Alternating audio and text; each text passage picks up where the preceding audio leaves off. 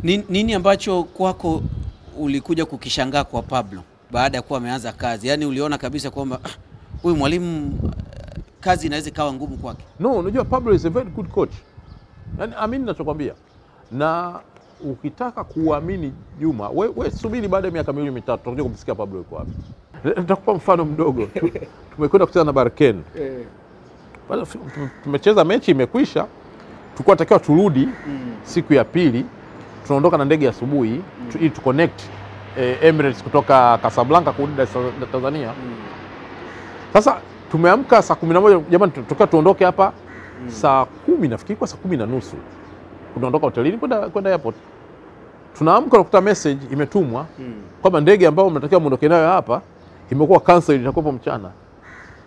mm. Kwa hiyo maana yake ni nini? Maana yake ukiamua ile ndege uki, ukisubiri upande ndege mchana pale ulipo mm.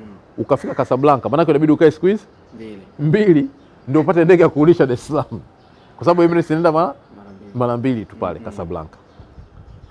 Kwa hiyo sasa inabidi uanze kumweleza mwalimu kwamba mwalimu, ile ndege tumetumia message na Federation ya Morocco kwamba imekuwa cancelled, haitokuwepo asubuhi. Sasa katika hali ya kawaida mzungu anza kujiuliza, yaani inawezekana vipi hichi kitu? Umeelewa? Kwa hiyo sasa sasa tunafanyaje? Bwana, hapa inabidi tutafute basi Mm.